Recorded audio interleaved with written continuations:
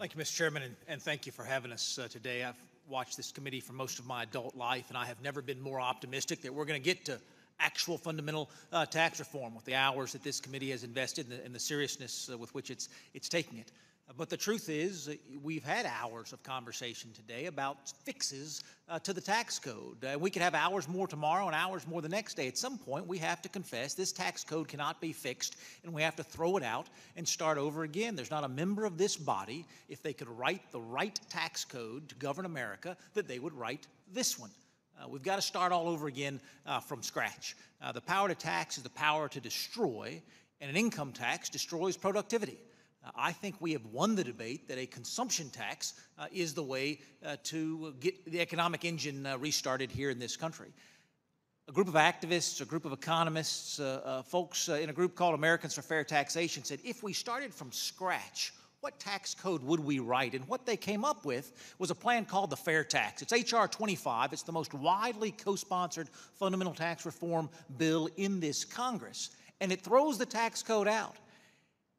It begins with the, pro- with the uh, point of view that businesses don't pay taxes. Businesses just collect taxes. And I don't want to have a tax code for job creators in this country that is just a little bit worse than everybody else's. I don't want to have a, a, a, tax code for job creators in this country that is on par with the rest of the world. I want to have a tax code in this country that leads the rest of the world. I want to take our corporate income tax code from worst in the world to first in the world. The fair tax does that by admitting that businesses don't pay taxes, they simply collect uh, taxes, abolishes the corporate income tax, and requires that they collect a, a point of sale, retail sales tax on all of the final uh, consumer uh, goods. I want to make sure that individuals don't have to fight with their government for the privilege of paying their taxes. Uh, there is absolutely no sense that every April 15th, dread seeps into every American family across this land. The fair tax recognizes that you shouldn't have to have a law degree or an accounting degree to pay your taxes. Simple point of sales, retail sales tax Every American consumer would pay their taxes with every purchase that they make. The average American family would never see the IRS again. I don't want to make it easier to file your income tax statement.